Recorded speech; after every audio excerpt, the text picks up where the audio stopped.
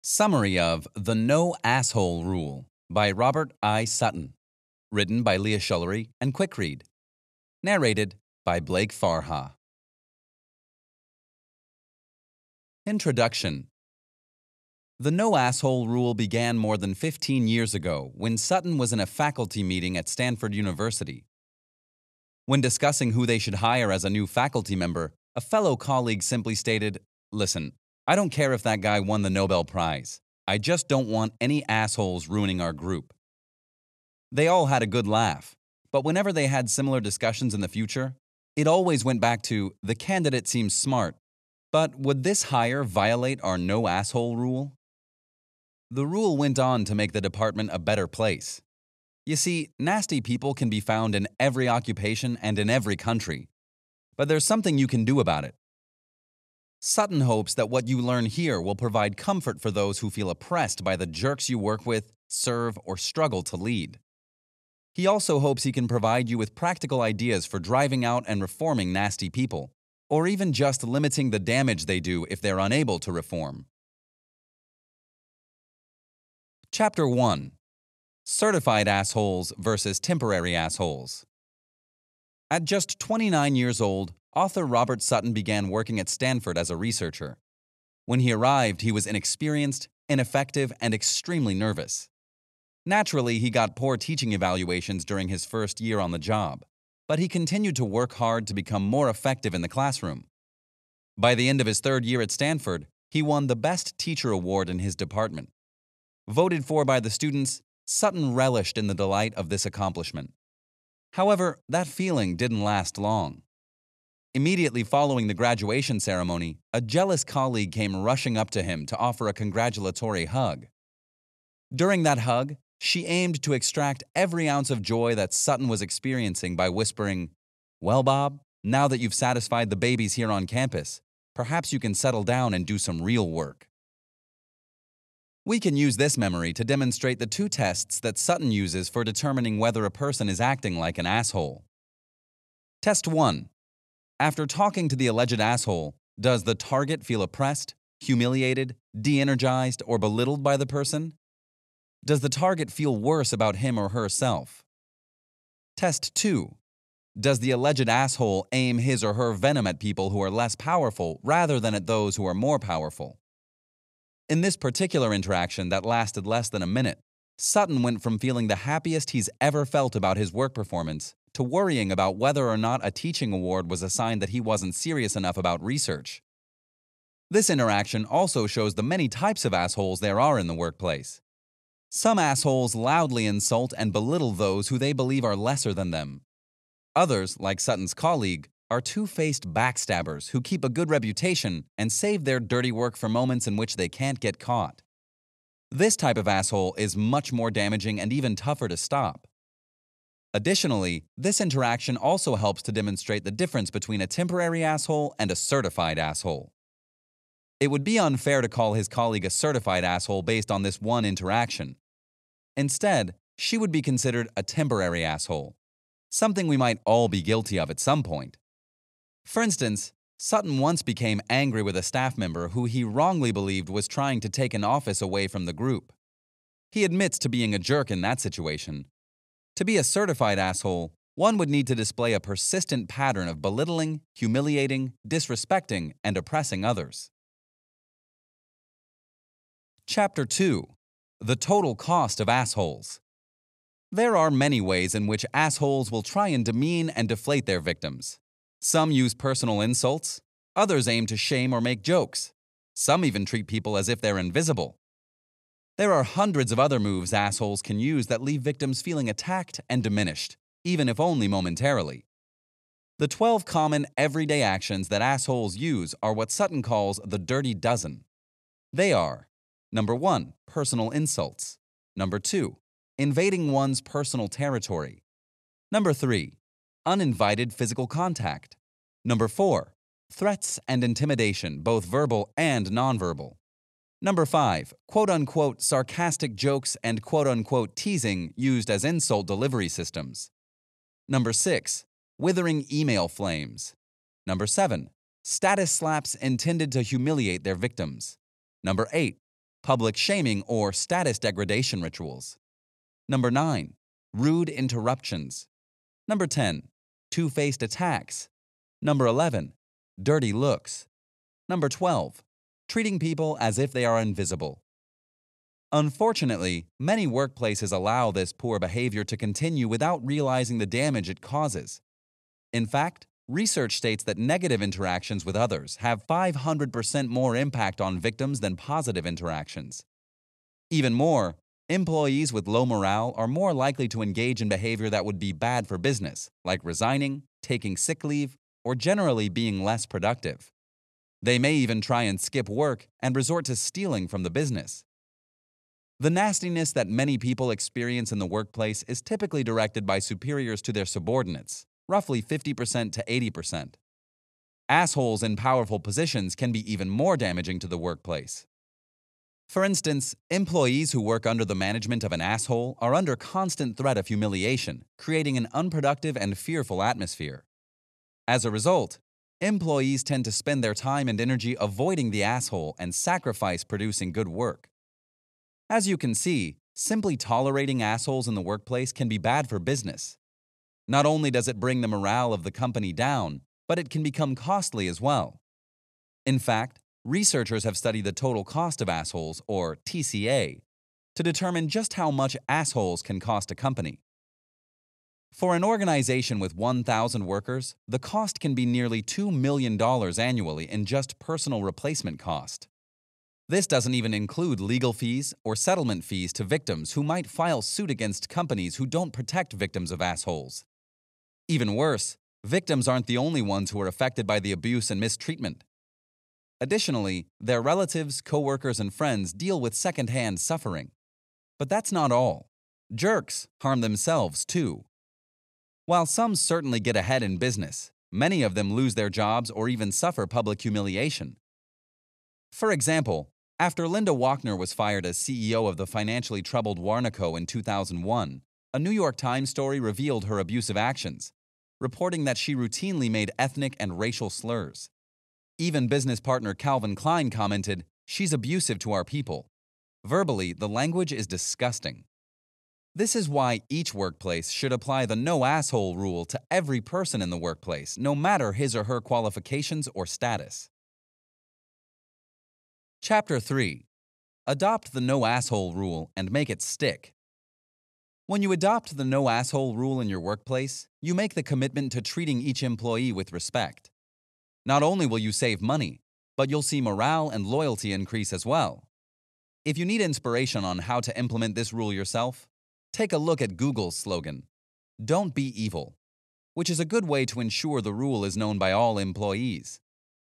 Limiting the rule to your workplace won't do you any favors either. Instead, you should extend this rule to customers and clients too. For example, certain airlines blacklist customers who have mistreated their staff by screaming or threatening them. If you want this rule to stick, you'll need a few tips. The first is to say the rule, write it down, and act on it. We saw an example of this in Google's slogan above. Essentially, you'll want to make the rule part of your organization's culture. The next tip is that assholes will hire other assholes. That's because people are likely to hire people who are like themselves. Therefore, do your best to keep jerks away from the hiring process to avoid adding to the assholes in the workplace. In fact, if you do have an asshole in the workplace, get rid of him or her fast. A nasty attitude and behavior can have long term consequences. Next, embrace the power performance paradox. You see, Studies show that people who are given higher status are more likely to behave like assholes. They talk more, they take what they want, and they generally view others as a tool to get what they want, eventually taking personal credit for something an entire group took part in. The power performance paradox suggests that organizations with fewer gaps in status and job prestige will produce fewer jerks. In other words, Businesses who reduce the social distance between employees will experience more respectful behavior between managers and subordinates. So, how can you lessen the gap? One way of bridging the gap between managers and employees is to keep wage differences as narrow as possible. In the business world, earnings play an important role in assigning status and prestige. However, if you keep wage gaps relatively small, organizations can lessen one of the factors that typically lead to workplace bullying. In addition to embracing the power performance paradox, you'll need to learn to manage moments. Just as we focus on the little things in relationships, the same can be said for workplace behavior. One unkind word, insult, or temper tantrum can soon escalate into dealing with a certified asshole. Therefore, make it a point that you won't tolerate even the slightest incident of rudeness. Chapter 4 Foster Healthy Competition and Cooperation. Of course, assholes can have their place in every organization, too. Adopting the one asshole rule is okay for most organizations.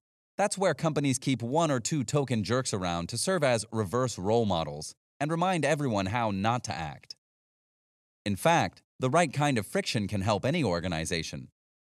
Let's take a look at Intel co founder and retired CEO Andy Grove, known for being a strong willed and argumentative person. He's renowned for sticking to the facts and for inviting anyone to challenge his ideas. During these challenges, Grove focuses on finding the truth over putting others down. He believes spineless wimps can be just as damaging to organizations as assholes.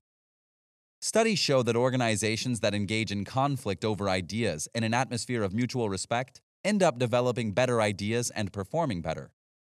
For this reason, Intel teaches employees how to fight, even requiring all new hires to take a class in constructive confrontation. Additionally, being cold and ruthless can be an advantage in the business world when it comes to negotiations and such. However, this doesn't mean that companies should promote assholes to positions of power or even tolerate their aggression. Instead, there are many techniques that companies can use to help motivate their employees incentives and recognition. These positive techniques get better results than aggression and punishment while also keeping office morale at an all time high. When working in an aggressive environment, the best employees will easily find work elsewhere, meaning your best workers will simply take their talents elsewhere. That's why a no asshole rule will not only keep your talented workers, but will also attract new ones. As we've mentioned before, the business world thrives off of a competitive atmosphere. In fact, competition can be natural and even healthy for a successful company. When companies reward ambition, their employees become better motivated, take more risks, and come up with better ideas. However, too much internal competition can turn a company into an uncivilized, unproductive workplace. Therefore, it's far more productive to foster an environment of cooperation. Many companies do this simply by changing their vocabulary. A good place to start is replacing aggressive words and phrases like the enemy or battleground with more positive cooperative words like help, fairness, and community.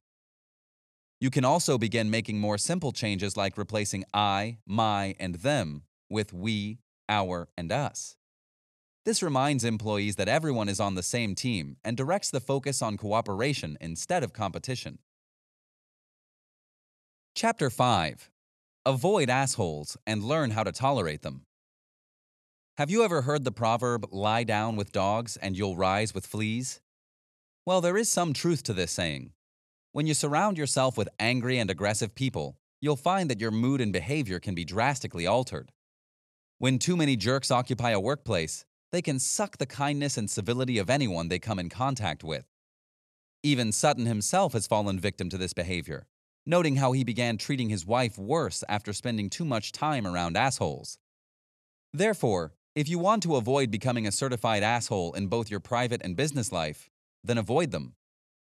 The MIT Media Lab uses a jerkometer device to determine whether someone is acting like a jerk or not. The device analyzes speech patterns over the phone and determines if the speech is kind or not. Because it analyzes speech from moment to moment, it's a highly accurate device to tell you if you're being an asshole. Unfortunately, you won't be able to get your hands on a jerkometer, but you can monitor yourself and avoid the highly contagious asshole behavior. Keep minimum contact with assholes by avoiding them in meetings as best you can. Additionally, don't meet with a jerk one on one unless it's absolutely necessary. It's impossible to completely avoid contact with assholes, so it's also important to learn how to coexist with them. The most important thing to remember is not to let your office jerk drag you down to his level. When an asshole insults or demeans you, Don't stoop down to their level. Instead, stay calm. Don't respond to aggression with more aggression. Avoid self doubt and don't internalize what they say to you or about you. Remind yourself that they are the asshole and that they are the problem, not you. You'll need to build an emotional distance between you and the asshole and enter each interaction with a positive frame of mind. To do this, remind yourself that the problem is only temporary. You are not the cause of the problem, and the problem is not going to affect you for the rest of your life. Another way you can approach interactions with jerks is by hoping for an ideal outcome but expecting a bad one. In other words, you should simply accept that being mean and nasty is simply their default state. They won't change. When you avoid emotionally investing yourself in their bad behavior, you remain confident in who you are as a person and don't allow their negativity to bring you down. Detach yourself and become indifferent towards them. As Walt Whitman once said, dismiss whatever insults your soul. Chapter 6 A Time and a Place for Assholes. As mentioned previously, assholes have their place in every organization, in fact, sometimes you need to be a jerk to get things done.